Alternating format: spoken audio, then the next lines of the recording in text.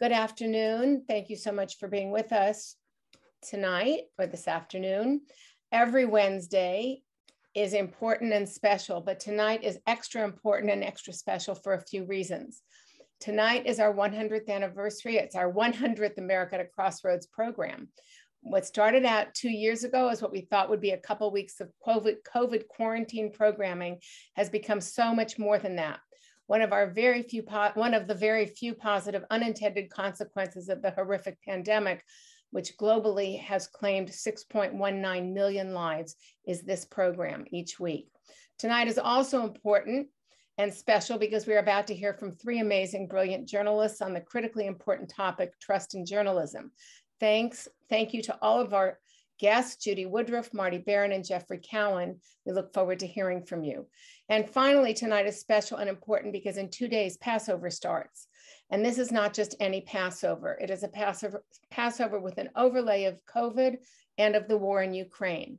Reliable studies tell us that whereas only around a quarter of American Jews claim to engage in religious observance, more than 75% claim to attend a Seder. And in Israel, the numbers are even more dramatic, where secular Jews claim to disregard almost every religious practice. They do so religiously, but 93% of Israelis attend a Seder. So, why does Passover win the Jewish popularity contest and even attract a fair number of non Jews who like to attend Seders? Well, I don't know the empirical answer, but here are some of my thoughts. An obvious answer is that Passover is the essence of the story of the Jewish people the celebration of the transition from isolation, despair, and slavery to freedom, independence, and autonomy.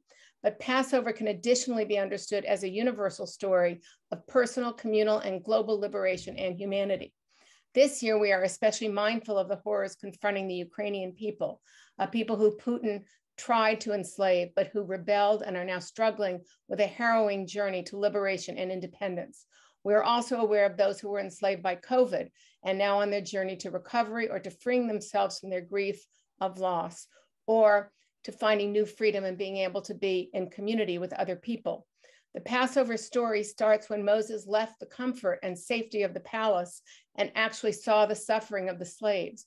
He recognized the injustice and then did the work which inspired the exodus from Egypt. In the context of our democracy work at Judge, and America at a Crossroads, Passover affords us the opportunity to inspire others to see the bondage of voter suppression, of xenophobia, of racism, of anti Semitism, and the fact that we, like Moses, need to do the work which inspires and sustains our democracy. So here are two little things that each of us can do for Passover. You can chip in to help the Ukrainians through any of the projects that we have mentioned on our various emails including the one that we have one of our judge lis- listeners, one of our America at Crossroads listeners issued a challenge, a 25% challenge to those who donated to any one of three projects that are mentioned in our emails or any other program that you would like to donate to. You can also engage in our democracy. You can help to register voters and fight against complacency. If you don't like the way it's going, find something to do about it. And I know most people who listen to our program are not satisfied with the way things are going. So there are things you can do. Our website gives lots of options for volunteer work. So I want to wish those who celebrate and even those who don't happy Passover. And now David will tell you about some of our upcoming programs and will introduce tonight's moderator. David? Thank you, Janice, for those uh, stirring remarks. If the crisis in Ukraine and geopolitical tensions are what concern you, America at a Crossroads is the place to be for the next several weeks. On April 20th, next Wednesday, we'll host a return visit of Lieutenant, Lieutenant Colonel Alex Vindman, the National Security Council Russia expert who blew the whistle on Trump's undermining of Ukraine. In three weeks, we will again host the former chairman of the Joint Chiefs of Staff, Admiral Mike Mullen, followed by Leon Panetta, the former head of the CIA and a former Secretary of Defense. Both Mullen and Panetta will address how experts view a topsy turvy world. In two weeks, we'll catch up on the other headline topic of the year Trump and the law. We'll host the brilliant Neil Katyal, a former Solicitor General of the United States, along with Pulitzer Prize winning Washington Post journalist and former employee of Martin Baron, Carol Leonnig, to discuss the legal perils that the ex president faces. Tonight's topic, Trust in Journalism, will be moderated by Jeff Cowan, an expert on the media from both a practitioner's and an academic's perspective. He's a lawyer, best-selling author, and Emmy award-winning producer, in addition to having been the dean of the Annenberg School of Communication at USC. He also served as the head of the Voice of America under President Clinton, a position his father held 50 years earlier under FDR. He's the perfect host for tonight's topic. Jeff, it's all yours. Thank you, David, and thank you, Janice. Let me just congratulate you on this 100th anniversary, your 100th program. Uh, and Mel and Zev, what, what, you started something really quite remarkable, and you you see all these people all around the country who are part of it. And so, congratulations to you. I'm really delighted to have the chance to introduce and have a conversation with two of America's truly great journalists. Judy Woodruff, of course, is the anchor and managing editor of the PBS NewsHour, which many people uh, on this call tonight watch every evening. And many people consider you, Judy, to be the gold standard for broadcasting. And so thank you so much for, for being here. Uh, and you've won countless awards for your journalism. And today you won another one, or were nominated. Your, you and your show were, I think, for eight or something Peabody Award, just nominated today, just again, as part a typical day, day for you. Uh, so thanks for being with us. And Marty Baron, uh, of course, one of the great newspaper editors, he informed us a little earlier that he spent more time at the LA Times than any other publication. I guess it's going to be hard to catch up with that, Marty. But of course, a lot of people know you from your years at the Boston Globe and the movie Spotlight, where Liev Schreiber played your the role of you. And of course, from your years as executive editor of the Washington Post, which just ended just about a year ago, where you won a series of Pulitzer Prizes uh, in an incredibly important area, uh, era. So thank you, thank you, Marty, so much for being part of this.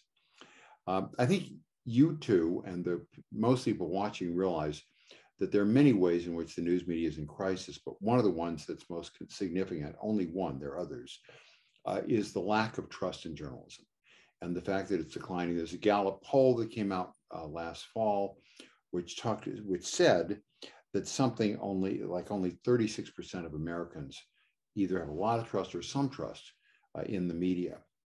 And so I'd like to start off by asking each of you, starting with Judy, the question of why the trust in the media has been declining um, and whether and why it matters. Judy? Thank you, uh, Jeff. I'm, I'm really honored to be with you. Um, and, you know, given what we just heard about your storied career and life, um, I think we're all privileged to be engaged in this conversation. And I'm honored, as always, to be with Marty Baron, someone I respect enormously. Uh, Marty, given your your extraordinary career, just very glad to be here with all of you tonight. Um, the trust in journalism, it's something I think that waxed and waned to some extent over the years, but you're right. We've seen it in, in my estimation plummet uh, in, in the last few years. And I think it happened uh, at the same time. We had a political leader in this country who was constantly uh, talking about fake news, referring to most of what the press was reporting um, that was just straight reporting, reporting from what we call the mainstream news, me- news media, calling it fake and, and also calling us enemies of the American people. Um, I think the press is accustomed to, to not being everybody's favorite friend. Um, and that was never, that's never been the reason any of us go into this business or it shouldn't be. But the different thing now is that people in power, and a lot of them, uh, have have uh, just beat the drum steadily uh, that the press is not reporting the news uh, that that they believe, and therefore they are casting the press as um, enemies on the other side, untrustworthy, unbelievable, uh, not about the facts. And so I think a lot of damage has been done. I think we're going to be talking about it tonight, I know, but I think a lot of damage has been done, and I think we've got a lot of work to do uh, to repair that damage. And Judy, why, and I'm going to get to Marty next, why does it matter? To me, it matters because um, a, a press that the public has trust in is part of the foundation of our democracy.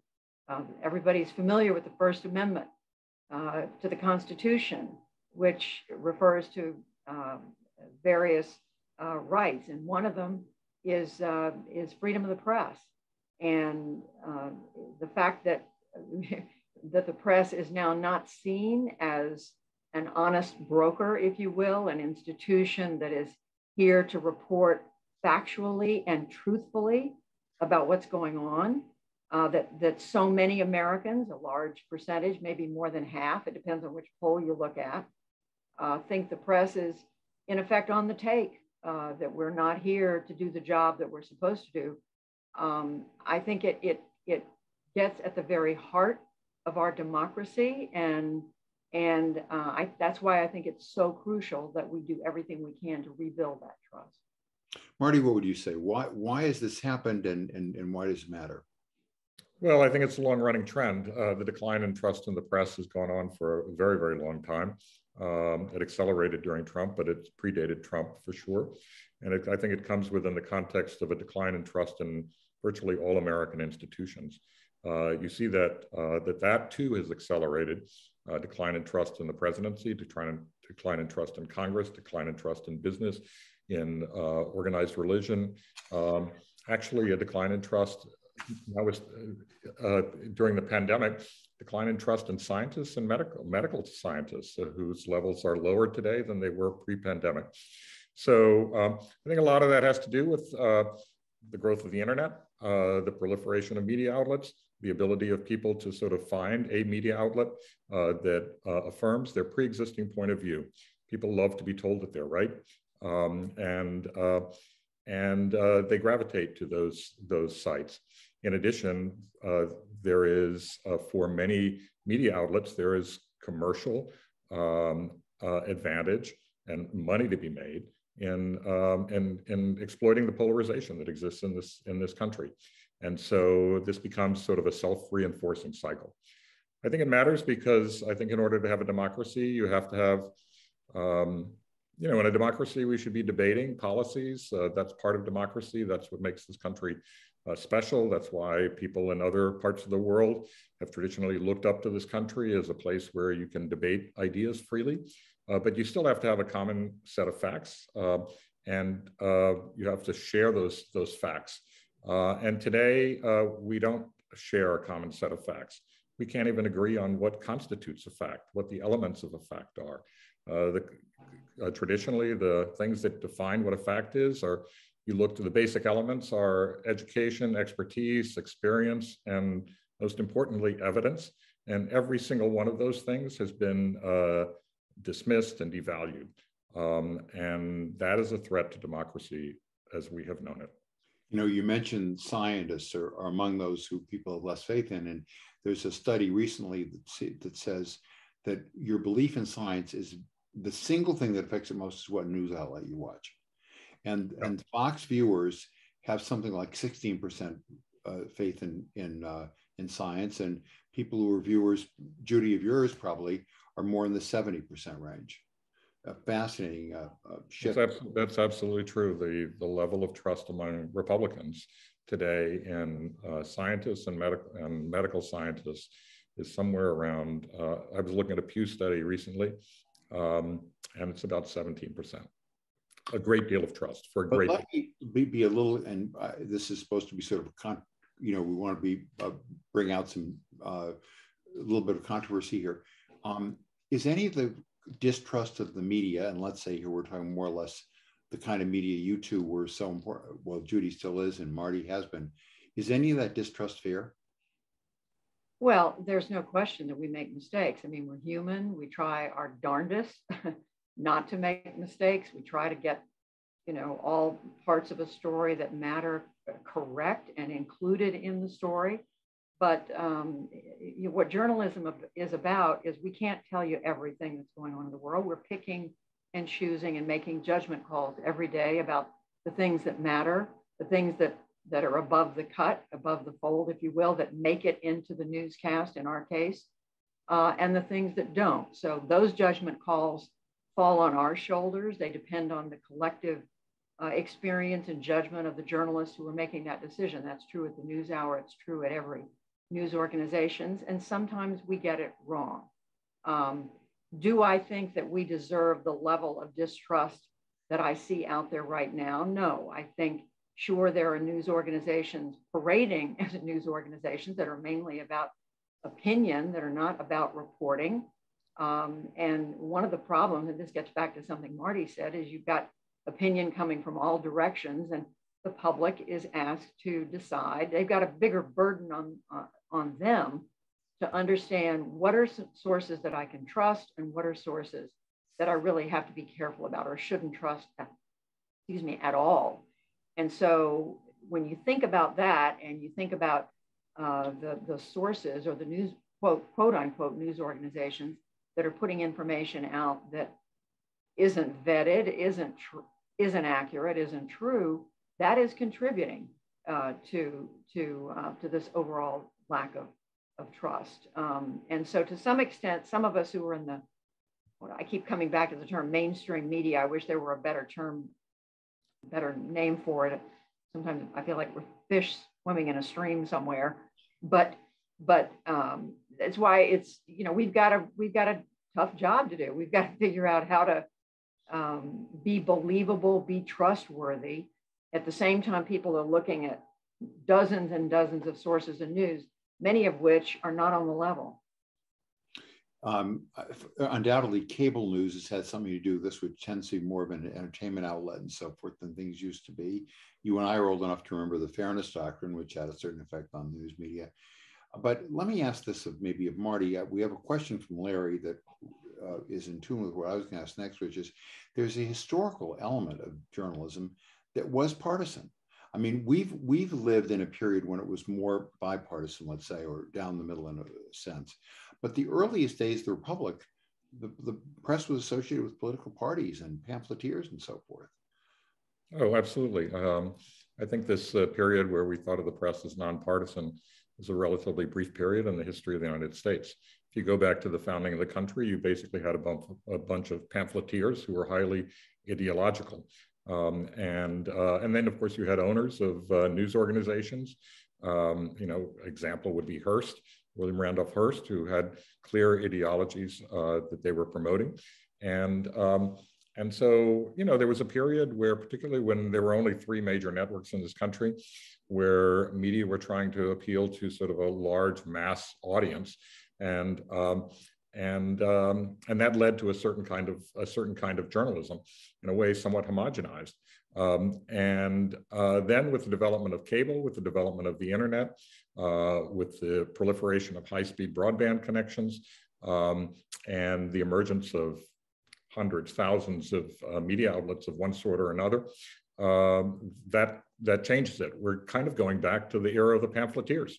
Uh, the difference is, is that people, these pamphleteers have access to the internet, which means that their messages are available instantaneously and uh, everywhere. Um, and that means they can have more, much more of an impact. So I, in many ways, I think we're reverting back to the kind of press that we had at the beginning of the country, but with a lot more power behind it. Judy, how do they affect you? You've got a major public uh, uh, news operation, hugely respected by at least the world that we're a part of. Um, but do you get a lot of pushback, a lot of criticism, a lot of attacks, either from viewers or from political partisans and so on? Well, sure. I mean, that comes, it's part, it comes with the turf. I mean, if you're a reporter, if you're a news organization, you're going to get, you're going to get pushback. I mean, what's heartening to me is we're still getting pushback from both ends of the political spectrum. We get people who will write in and say, we think you're too sympathetic uh, to Republicans and others on the same story or the same night will write in and say, we think you're too sympathetic to Democrats and, and many, many, many iterations of that. Um, so uh, sure, I mean, I'm, it, it comes with the territory. I'm used to it. I'm, it used to be I, people would write a letter, sometimes they would call. Today, they send an email or they tweet. And if you want to take the time to read all the Twitter comments, um, you could spend the whole the whole day and into the next day and night reading critical, uh, some of it some of it praising and some of it critical. Um, but you know, my view has always been it's important to look at that, but not to let it drive what you're doing. Um, I mean, we understand. I think that our mission is to report the things that we think the public needs to know about. We don't want to live in a vacuum. We want to be responsive. If people, if we've got a flood of people writing in saying, why aren't you covering the environment more? Then we're going to go back and take a look and say, okay, maybe we need to take another look at that. But but uh, not to the extent that we're every day we're going to jerk back and forth based on what on what uh, what people said they liked or didn't like. Um, we pay attention to it, but we're not we're not going to. One maybe it'll be new. You were a founder of a tremendous organization that I, I would urge viewers who don't know about it to support at the International Women's Media Fund, which is a, a great organization. But one of the things the IWMF does is it helps to protect women around the world who are journalists. And it's not only women, but they focus on women who are the subject of threats and harassment. And I'd love to know from both of you whether this anger at the press is manifesting itself in a, in a kind of behavior that's not just an angry tweet or letter, but it's something else. Marty, did you have that experience at all at the at the Post? You certainly saw what happened at the uh, Annapolis paper, where where several journalists were killed. yeah, uh, that was a little different, but um, certainly uh, terrible consequences there. Uh, there was an aggrieved individual, and that's what you worry about all the time. Uh, is that something it just takes one person to do enormous damage? Uh, yes, absolutely. Um, I've been the subject of threats, uh, and it wasn't the worst of it. The people on the staff of the Post endured a lot worse than I did. there were threats that came through emails, threats by phone calls, threats on uh, the on on Twitter, uh, but also threats at people's homes, uh, people being followed, various incidents that I shouldn't get into here that occurred that indicated that people knew where we lived and that damage could be done. physical harm could be could be um, could could take place, and so I think that's become a common occurrence.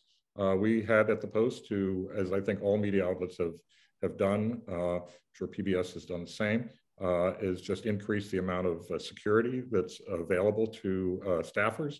Um, a lot of background checks on the people who are threatening, uh, threatening us. Um, and um, it's, you know, security at the security at the headquarters, security of people's homes, um, all that sort of thing. Uh, what's your experience with it, and what's the PBS experience with that? Um, well, just that everything Marty said. Um, I mean, we don't have as large a staff as the Washington Post had, and I'm sorry, I'm getting messages that my internet connection's unstable. So I hope I, I hope I don't, we don't disappear. But um, it, sure, I mean, their threats are there. I do think, I mean, Marty's right. It it it comes, it just comes with the territory. I do think around the world, women journalists have, in, in many instances, faced worse um, uh, kinds of intimidation, threats based on, and a lot of it is, is cultural. It depends on the countries they've been, they're reporting in. And it's one of the reasons I'm so proud of the work the International Women's Media Foundation has done to try to uh, help put, put some support systems in place, trainings and other things to help keep journalists safe uh, because increasingly journalists are targeted around the world. We've seen it, the number of uh, journalists who have died in the line of, of duty in, in, in reporting a story, uh, reporting from places that are not safe, either because the government doesn't protect them or because they're targeted for some other reason. Um, we've seen it in Mexico, we've seen it in the Philippines, we've seen it around the world, journalists jailed uh, by governments, Turkey, um, and, and the list goes on, not to mention the countries where there is no freedom of the press. So um, in countries that where we're lucky enough to have a relatively free press, and in this country, uh, we're at the upper end of the scale, um, but we certainly still have our challenges. Um, there's no question people feel freer. I mean, think about political rallies today. People feel freer to target reporters than at any time in my career. Marty's right. I mean, there's been controversy about the press for a long time, but some of it just feels more visceral to me than it than it has at any time since I've been a reporter. One of the questions that we've got here from Barry is uh, whether the mainstream media had suppressed the Hunter Biden laptop story. Uh, the, the Post, uh, as you well know, Marty, just did, I think, three pages of an extensive research uh, story, which seems to validate uh, a chunk of it. Uh, could you talk about that at all? And, and is it the sort of thing that you think breeds anger? Now, of course, we know there are plenty of things like that, as Judy says, on where, where that's happened uh, on the other side of the spectrum too. But could you describe? Well, Sure. I mean, does it breed anger? Sure. A lot of things breed anger these days, but a lot of people also don't know the facts. So, um, I mean, that the information on that laptop or the what was presented as information from the laptop was in the possession of uh, Giuliani and uh, and uh, Steve Bannon, uh, as I recall, and um, and we asked to get access to the the hard drive and look at it for ourselves so that we could authenticate it. And we were told at the time, you can look at what's on our screen. Well, that's just not good enough, uh, especially a month before an election. Uh, we need to do, we, we have to go through a process of verification, authentication, all of that sort of stuff. Um, and uh, we asked to do so. Uh, we were doing, we did what we normally do is give us the, the basic information, give us the, you know, the, the stuff that we need in order to verify it and to authenticate it, and we'll go do our job. Uh, and we were denied that at the time. And so more recently, uh, they have turned it over. Uh, this was subsequent to my retirement. Uh, and the Post has done a good job of looking at that. It authenticated some of it. It couldn't authenticate other parts of it. It wrote about the parts that it could authenticate. It did a tremendous amount of work. I'm sure it took an enormous amount of time and an enormous amount of research. Um, that is hard to do uh, when you're, you have several weeks left before an election. And you have to ask yourself, well, why is that being presented to you? As a journalist, you have to ask yourself, why am I getting this just before the election? And, and somebody is not giving me full access to the information I need in order to verify and authenticate it. Judy, any comments on that story? Well, just that, um, I mean, as Marty said, the, the sourcing on it has been very difficult. There was just a little bit of information that came out initially, and a whole lot of accusations were made based on a very little bit of information. The press was not allowed to examine the laptop, and we had to question the possession of it. I guess a number of copies were made and so forth. I mean, the bottom line is that I think we should report on that as we do on um, stories that, you know, related stories. Um, there's still work to be done. There's still a lot of questions around that. Um, I salute the Washington Post for the work they've done. I have no doubt, as Marty said, that a lot of time and effort went into um, going over what was there, understanding it, figuring out what could be verified and what couldn't, and going to outside experts uh, to help uh, retrieve that information. There's a lot of work involved. I would point out that the Justice Department uh, has been looking at this for uh, over a year now. Uh, it's ongoing, an ongoing investigation. So it does take time. a, a, part of the problem with the, the, the press that the press is struggling with right now, I should say, problem, but it's a huge problem for the press, is the economics of the industry. And you know, you're both you you know you fortunately Marty had a supporter who was able to had some deep pockets um, due to you a lot of supporters. I look sometimes at that scroll of supporters that you have for the news hour, and there are a lot of them. Um, hey, if you if you send in uh, a check, uh, we will send you a tote bag uh, and maybe a baseball cap. So. And you have like four thousand viewers now. You can ask ask them to, to support you, but um, or maybe more. But but we've we now are in an era of news deserts, and I'm not sure that the people on this uh, call really know that.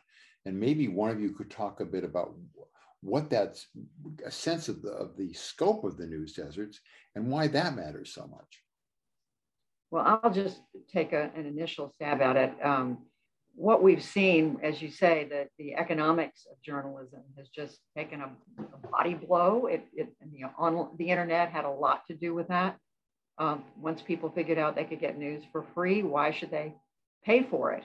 Uh, and that's uh, the, the, the, institutions that have suffered the most have been the small newspapers around the country that have frankly been um, the, the, you know, the blood, the sin, the bone and the sinew that have hold some, held some of these communities together. So many of them now have gone out of business by the, by the hundreds and thousands.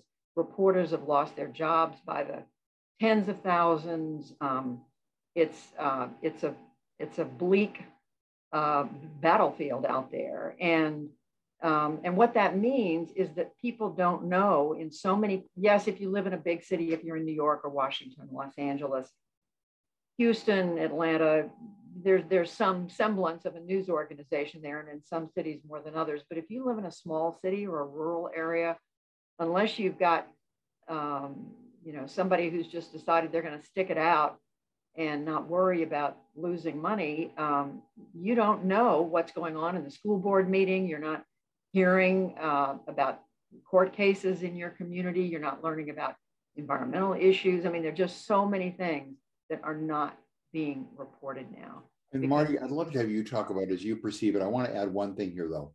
Trust in the press is partly your local press.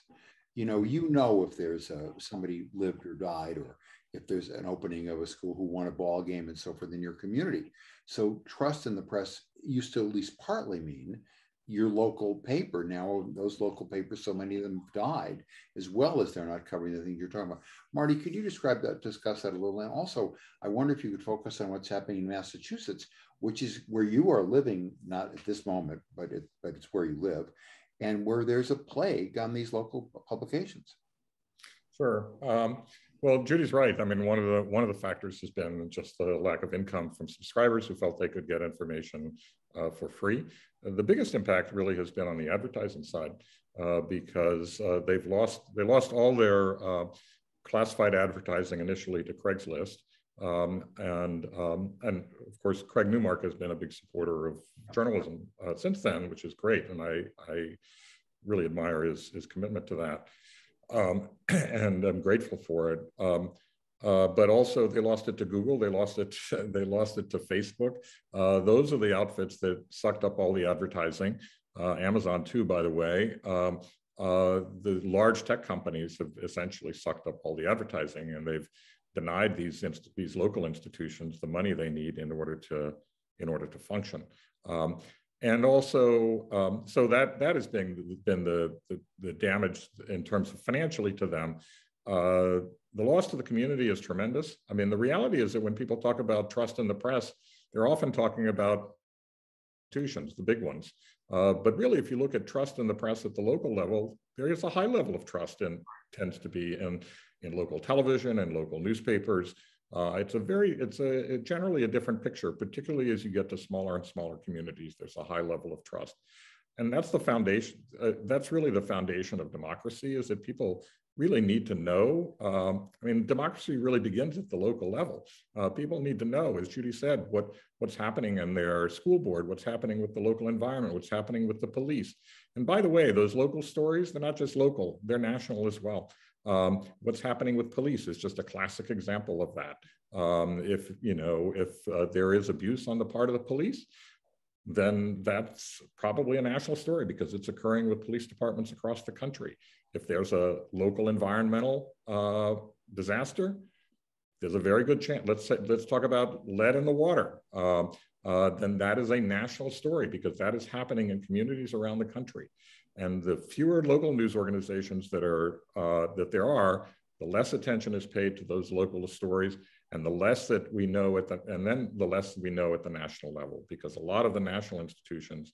Um, we would read those local uh, newspapers to see what's really happening at the local level and see if there was a national story involved.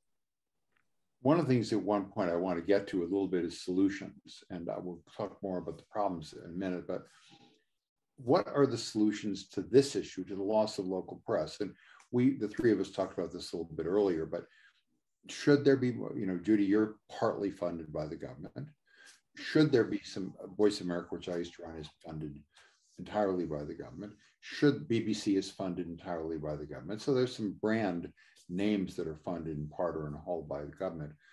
Should there be more government support? Should Google and and Amazon and Facebook be forced to disgorge some of their profits to help to fund the press. Do you guys have any views on that? Well, those are all really, really important questions, and it's two separate ones about whether the government government funding and then versus um, more restrictions on the Googles and and others um, and Facebook.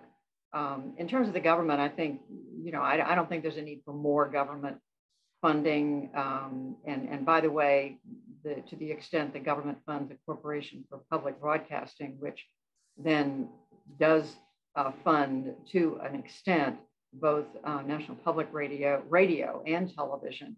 um, there is no, absolutely no uh, role that, that they play, the government plays in anything we do. I mean, we are completely independent.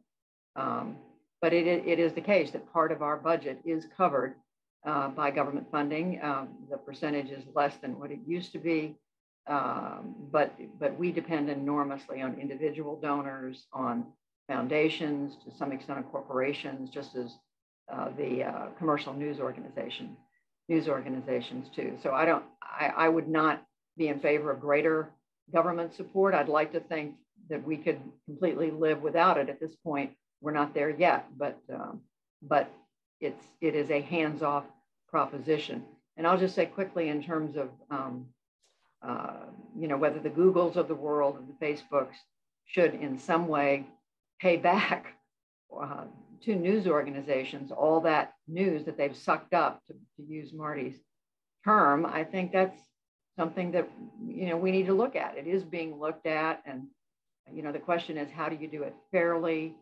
You know, and, and they are doing it in some ways on their own, but the question is should there be a more systematic way of doing it? One of the questions we have is from John, who wants to know really, I think it's a question a lot of people wonder about. To what extent is the this animosity toward the news or the distrust of the news fed by Fox News? Or maybe other things too, and that uh, end of the spectrum. Uh, but you know, you see what uh, Chris Wallace said when he moved over to CNN Plus or whatever it is, that somehow he felt that Fox had even changed post the 2020 election. But do you think there is a uh, and, and is there an equivalency between the Fox News and say MSNBC or something, or is Fox News kind of idiosyncratic and and, and is it damaging? Well, yeah. I mean, I think Fox News has a lot to do with it. You know, that's their shtick. Uh, their shtick is to say that everybody else is biased. I mean, they came up with that brilliant motto, actually, saying fair and balanced, as if they were fair and balanced and everybody else wasn't. It was a genius, uh, genius move there by Roger Ailes, um, the late Roger Ailes, and and so um, and that and every night, all night, uh, at least during the sort of the peak news hours um, where they have their so-called commentators on. Uh, they're trashing they're trashing the press. So yeah, I think that has a lot to do with it. I mean, look, you know, when you look at trust, the reality is that uh, you have to go down a little bit deeper rather than the sort of top line number. Uh, if you ask Republicans who they trust, they have a lot of trust in Fox News, uh, a tremendous amount of trust in Fox News. They just don't trust everybody else. Um, and um, if you ask, if you talk to Democrats, well, they have a, quite a bit of trust in uh, the New York Times, the Post, and NPR, PBS, uh, CNN, all of those. Uh, but but they don't trust Fox News at all. Uh, so, um, uh, but of course, when you're being bashed day in and day out um, by people who whose ideology you happen to share, um, then uh, yeah, it's going to hurt. It's going to hurt our image, no question about it. and, and what's the role of social media in all of this? To what extent is social media driving the, and you mentioned a little before, Marty, or to, and you, Judy also, how, how much is social media leading to the distrust and even hatred of the press? Well, it amplifies it because um, you know, with the push of a, of a, or the click of a mouse or touch of a thumb on your device, you can express your opinion and it, it amplifies whatever is out there. It's very easy to do. It's often anonymous. Um, you can just, you know, make up a name and you're on Twitter or I guess Facebook's a little different, but you you have an identity and you can weigh in and um, again amplify whatever's out there. Um, I think social media has has has there's no question about it. It's made it easier to attack the press.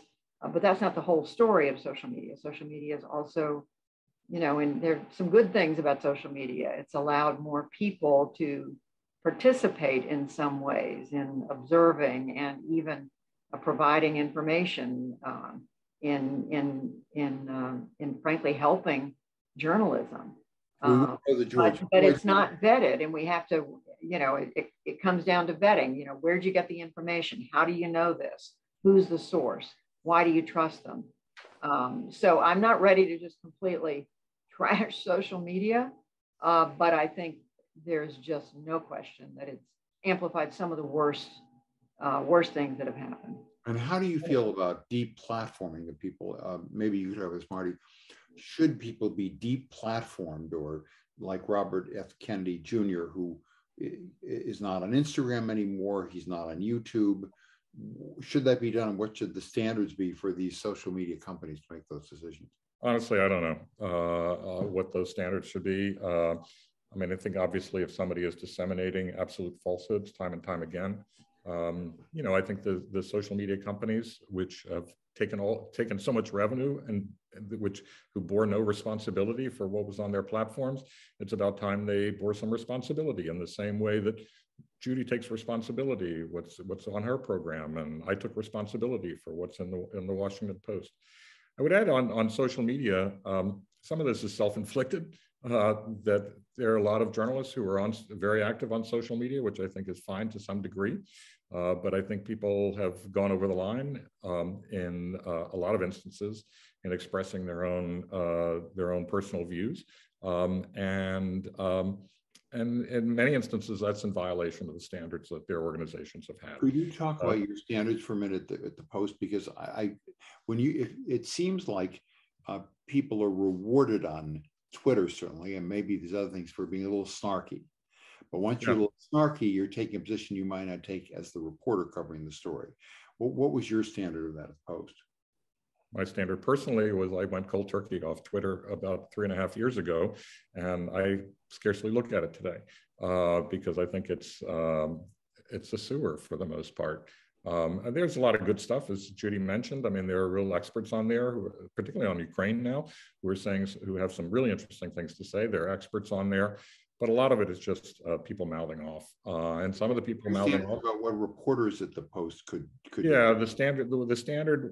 Well, we had our ethics guidelines, which were long-standing uh, guidelines on on reporters' behavior that they're supposed to limit expression of their own personal views. That's the synthesis of the of the policy, and. Um, and so, and not everybody abides by that. Not everybody abides by that policy. Look, the New York Times, the editor of the New York Times, just put out a uh, a memo the other day to his staff on, on social media. It covered a lot of different aspects of it, the use of social media, but he reminded people that they had to av- abide by the ethics standards of the, of the New York Times. And um, the reason that one issues a reminder is because people apparently need to be reminded. And, um, and I think that's certainly true that people do need to be reminded of that. And I think that people should be much more careful. Uh, I think to the extent that people go on social media and are expressing their personal views, uh, political and otherwise, uh, it has the effect of undermining, undermining confidence in the press. Judy, what are your sta- the standards of PBS and, and what happens there? It, it's in general, it's what Marty described at the post. We're not supposed to express, obviously, ever, um, Twitter or any other platform, public forum, what our personal views are. We are there as reporters uh, to do some analysis, some observing, uh, but it's a I mean, I'll say it's a slippery slope. It's very hard. I mean, what's the difference between, I mean, even the fact that we commented on something President Biden said or before him, former President Trump, I mean, we're, we're, we're saying something about we think that's significant. Why did we pick that comment to repeat or to retweet? Um, so everything you do on, on, you know, on Twitter, especially on Twitter, um, is a statement. You're making a statement. Um, I use Twitter primarily to promote the work of the NewsHour, to to to uh, to say, you know, we did a story tonight on alopecia, for example, or here here's our reporting. Here's who was on our program tonight uh, to, to talk about Ukraine, and here's what they said. Um, but um, but it's very easy to to slip into uh, commentary, uh, and we have to be really careful about it. We have some questions about law here. One of them is about Section 230 the Communications Decency Act, which Andrew asked about, which is the one that um, uh, kind of leaves the, uh, almost takes away from these platforms, so legal responsibility of the kind you would have at the Post, for example, Marty. And the uh, other was is about the fairness doctrine, whether it should be reinstated. Do either of you have views of that, either of those issues? I think Section 230 is really complicated. Uh, I think a lot of people have simplistic answers like repeal it. Um, I think that that uh, basically you're asking for the end of uh, comments, you're asking for the end of Facebook and Twitter. Uh, that's fine if that's what you believe. Uh, but if they had to be responsible for every single thing everybody said, uh, you've got a real problem there. Um, so, um, and the same would be true for comments on, on news sites and what have you. So I think it's much more complicated than that. Uh, what I would like to see, uh, I think what I would like to see is much more attention paid to the kind of data that tech companies are allowed to collect on individuals. That's what's allowed people to target um, uh, people for political purposes to know exactly who they're trying to reach and what kind of message they would like to receive. Um, and um, uh, obviously, there are commercial benefits of that because advertisers can target those people as well because they know exactly what your interests are. Uh, you know, commercial enterprises know a lot more about you than the government does. Um, they know virtually everything. Um, they're talk about sucking up data. They're, they're sucking up a lot of data. They're not only sucking up revenue, they're sucking up data. And the reason they've got so much revenue is because they can offer to advertisers targeting. And so they have powerful tools for that. So I think more attention should be paid to um, how much data uh, commercial enterprises can collect on uh, American citizens, American people who live in the United States or around the world. Privacy laws a little bit more like they have in Europe. Uh, Judy, yeah. any feelings about those laws, including the Fairness Doctrine, which you once knew? Yeah, I mean, I, I I'm not going to weigh in on on these things other than to say I would hope that we journalists uh, can find our, our, our way to be fair as we cover. I mean, I think of a political campaign. I think about the Fairness Doctrine, and I I hope that you know if we are doing our job, we're going to cover it fairly. We're going to uh, but but I'll tell you, it's not always easy. If you've got 15 people running for governor or president, are you going to give equal time to all 15 or 20 um, or equal space? Um, how, how do you do that? And so you end up making judgment calls. Uh, I'd like to think that we journalists can be driven by our own, you know, a sense of fairness, our own code of ethics, if you will. Um, for some people, that's not going to be enough or good enough. Um, but I, I would rather see journalists policing ourselves than having the government pass laws. Uh, in, a, in a second, I want to ask you guys if for solutions, for hope, for what are some things that could happen. But I want to read a last question here from Henry Weinstein, who you probably both know, terrific journalist himself, probably worked for you one time uh, uh, or with you, uh, Marty, at the LA Times. Uh, with, with. With you. He's great. Who point out that in, in Eric Boehlert, the media critic's last column, he wrote that there is a glaring disconnect, who died recently, just within the last few days, that there's a glaring disconnect between reality and how the press depicts White House accomplishments. And he argued that it seems that the press is determined to keep Biden pinned down. Uh, do you guys have any view of that? Let's leave aside the uh, everybody's equal side of things. But is there any truth, do you think, to that concern that the press, for whatever reason, doesn't want Biden's accomplishments to be fully uh, celebrated? I, I, I mean, Marty could weigh in too. I certainly don't think that. I mean, I think, I think the press is holding him to account as we do every president. There are mistakes made. There are some. I think there's there's sometimes a um, on the part of the press, um, uh, you know, the what we call the pack mentality, where people get together and they kind of are all running in the same direction on a story and and um, you know, and, and we sort of cease to be thinking independently about it. But um, by and large, I don't see a ganging up on at all on, on Joe Biden. I think the reporters are trying to hold him hold him accountable. I think some of the news organizations we've been discussing this hour may not be falling into that category of wanting to, you know, be fair. But in general, I think the press is trying to be fair. Marty, any comments? Yeah, I mean, I think that um, I generally agree. I mean, I think that uh, people feel the press always feels that the president of the United States should be held accountable. Uh, that's our job is to hold power to account. That's why we have a First Amendment in this country, by the way. Uh, that's why James Madison authored it uh, as the primary author, is that he felt that power should be held to account, particularly government power. Um, so um, um, at the same time, I mean, I think with regard to the economy, you know, I mean, I think generally the economy has a lot of good things going on, and it has a lot of uh, some bad things going on. Uh, the bad things generally fall into the category of inflation, um, and uh, which is at a very, very high level at the moment, uh, driven a lot by um, gasoline and by food. Um, and uh, but employment levels are have rebounded really impressively. It's been a very fast rebound. Um, and uh, and wages are up now. The wages aren't necessarily keeping up with the inflation rate. That's the problem. So it's a complicated picture, and I think probably the the press general. I hate to speak of the media overall because I always hated that myself uh, because we're not all the same. Uh, but I think that generally we can, you know, press can do a um, it should work at trying to to explain the complexities in the economy today.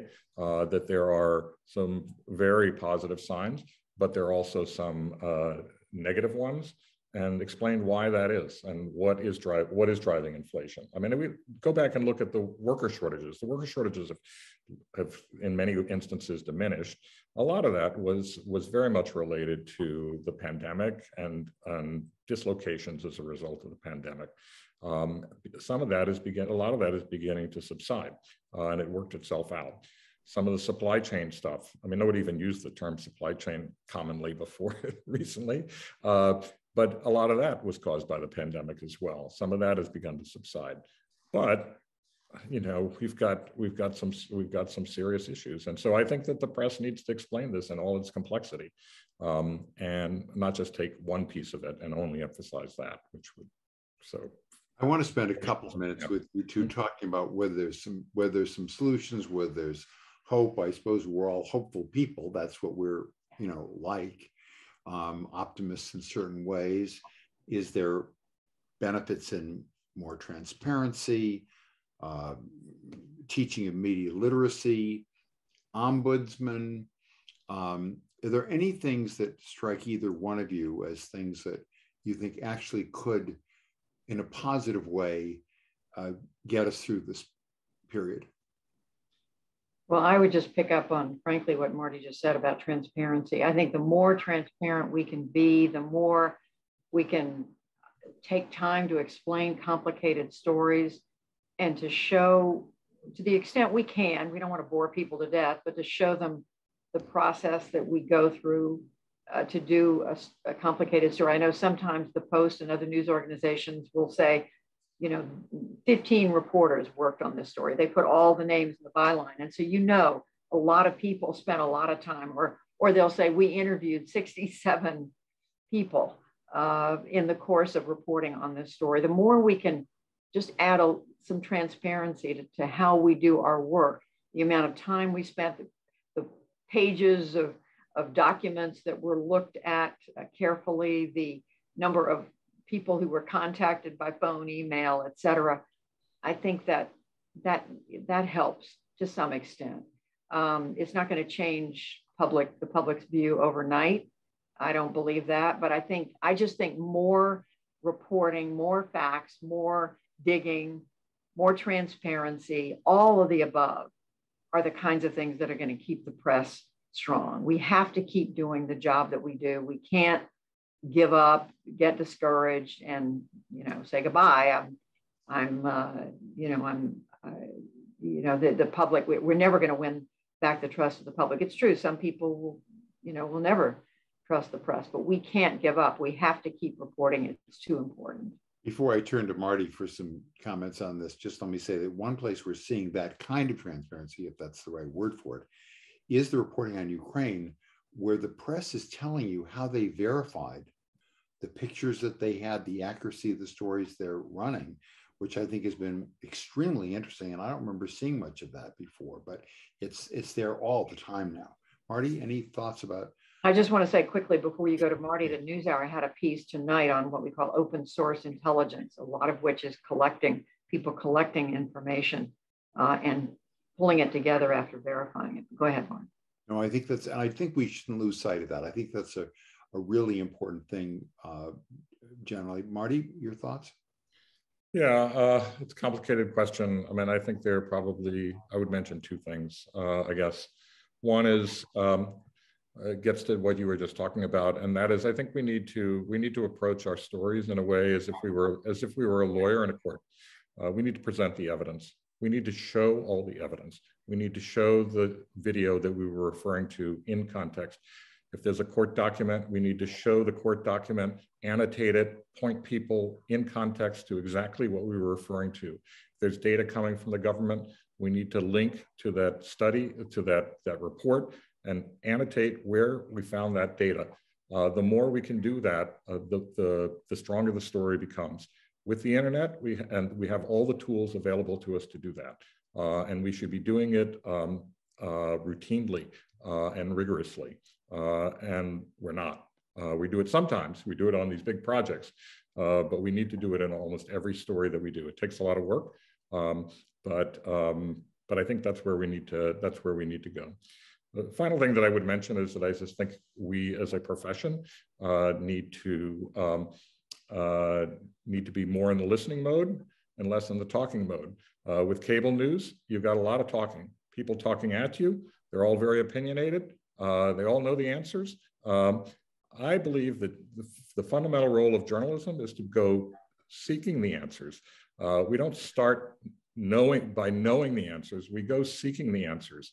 Uh, when we've when we've done the research, when we've done all that work, we should tell people very honestly, straightforwardly, and unflinchingly what it is we found, uh, and no beating around the bush. But first, we need to do all of that research. And so I think that we, um, I always, I've always said when people ask me what I'm looking for and journalists that I would hire, I said, I'm looking for journalists who are more impressed with what they don't know than with what they do know or think they know. Uh, that's what I'm looking looking for among a, a number of other qualities. Uh, and so, as a profession, I think we could uh, we could show uh, some more humility. I couldn't agree more. I think we need more humility in the press. We don't have all the answers, uh, and it's hurt us to the extent the public thinks we act like we do. Well, maybe those are hopeful thoughts to end on, uh, uh, along with um, maybe the, the thought that some really great reporting, which um, uh, Sam pointed out just now that uh, the video and print stories about Ukraine have been extraordinary. And I think when you see great reporting, maybe that's part of what also uh, builds more faith in the in the press too, uh, and and and, and reporting that really is proved to be to be true. But on the all, on the other hand, we didn't know. Nobody seemed to know either how strong Ukraine would be or how weak the Russian forces were. Any last comments from either of you before we uh, close this out? Marty, Judy. Go ahead, Judy. Yeah, I was just going to say, I think it. I guess I'm repeating what I said a minute ago. I think it's really important that the press just keeps at it, that we keep reporting, we keep doing the work, we keep digging, we keep turning over facts, as Marty said, that we keep, um, we look for the evidence, we share what we know, um, more transparency. I think, you know, we're not going to change people's views overnight. We have to, we just keep slogging at away at it. Um, and, and, and that's how we best serve the American people. Thank you. Yeah, I would say, well, two things. One, first of all, it's an honor to be on with uh, you and Judy. I appreciate that. So it's uh, really great. Um, you know, when you retire, you think you're just going to be forgotten. So thanks for thanks for not forgetting me. Um, that's really nice. Uh, secondly, I mean, I just think that um, I think one of the lessons out of uh, the war in Ukraine is what's happening in Russia um, with the elimination of uh, any independent press as little as they had at that time. Uh, at the beginning of the war, they have virtually nothing left. Um, I think that that should cause Americans to think about the role of the press in this country.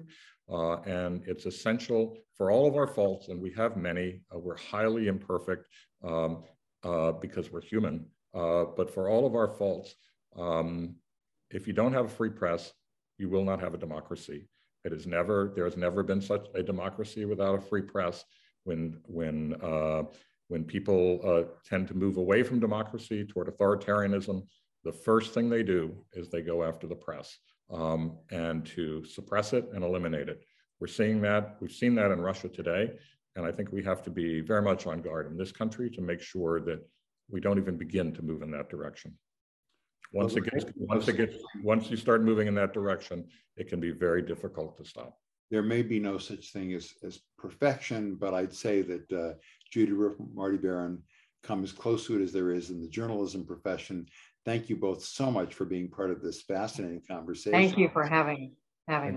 Thank And you. I, I will have to make, the- I, it comes to me to make an announcement about next week, just to remind people to tune in on Wednesday, uh, April twentieth at five P M Pacific, when the guests are going to be, and you see it on the screen there, Lieutenant Governor, uh, Colonel Alex Vindman, who's going to be interviewed by KCRW's Warren Olney, exploring the topic, how Russia's war in Ukraine has changed the world order. Thank you all for visiting, and thanks especially to our wonderful guests.